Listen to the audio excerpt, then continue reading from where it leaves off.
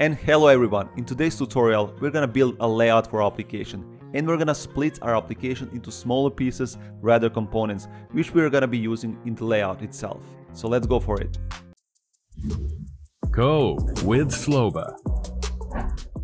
Okay, let's start off by building the components and then we're gonna proceed with building the layout. So we will need four components and you will see in a second what components are. So let's close this utils folder and we want to create these components inside of the components folder obviously, but not in the UI folder. This folder is reserved for shadcn library. So let's create a new file in the components folder and let's name it as sidebar.tsx. Obviously, this is a sidebar component and this component is going to hold all the links that we have on the left side. So make sure to put this component outside of the UI folder and let's place it inside of the components folder. Let's click this on move and let's close this UI folder. And now inside of the sidebar, we want to create a component.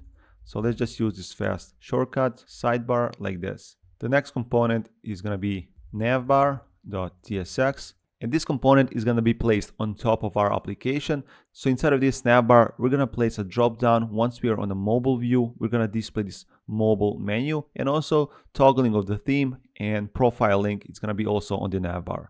So let's create this component like this. So I can save this and also I can close this file because we don't need it. Now let's create another one. So let's call it as links dropdown.tsx. And as I mentioned, this component is going to hold the links once we're on mobile view and we're going to get that as a hamburger menu with a drop down links. So once again, let's create a component. And the last one is going to be theme toggle.tsx. So this component is just going to be a button which essentially changes from light to a dark theme.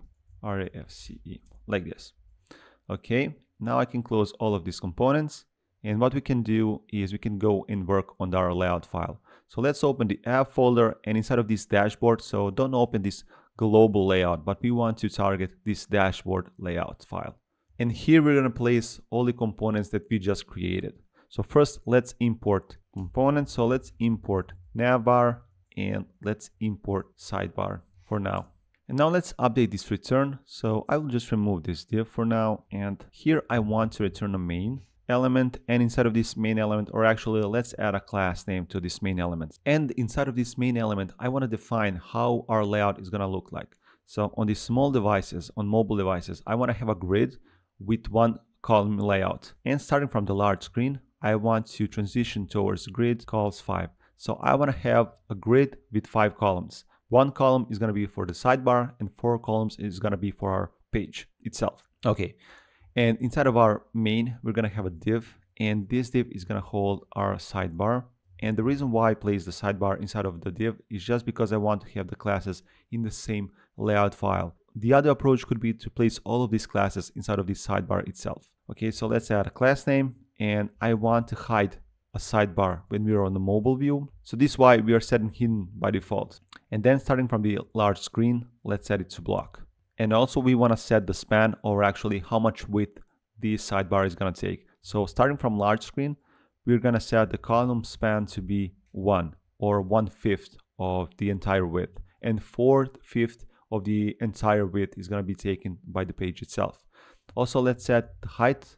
So on the large screen, let's set the minimum height to be screen, which essentially takes the entire viewport like this. Okay, so now let's create another div and inside of this div, I want to place the navigation and also the page. So let's add a class name and here I want to define what is the width of this column. So let's set on large screens, we want to set the column span to be 4. So this is going to take 4 columns out of 5 and one column is going to be taken by the sidebar as we said. Okay, and inside of this div, let's add a navigation, so navbar, and below this navbar we want to render the children.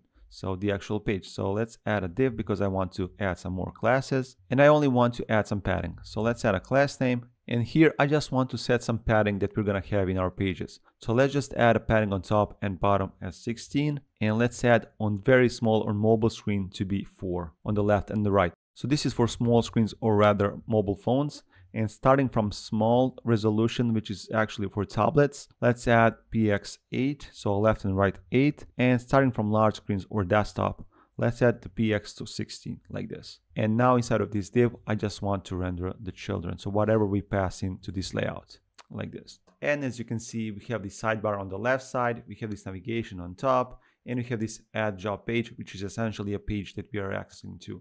And as you can see, this sidebar is only taking one column out of five. And if we resize our window, we can see that on some resolution, we actually lose the sidebar and we only have this navigation on top and we have our page. And this is all for this tutorial. In the next one, we're gonna start working on the sidebar and application is gonna start looking a little bit more like to what we're gonna get at the end. See you in the next one. And if you want to support my channel and get a full source code of every single video that I'm doing, feel free to check out patreon.com code with Sloba to get full access. See you there. Code with Sloba. Thank you for watching the entire video. To see more videos like this, click here.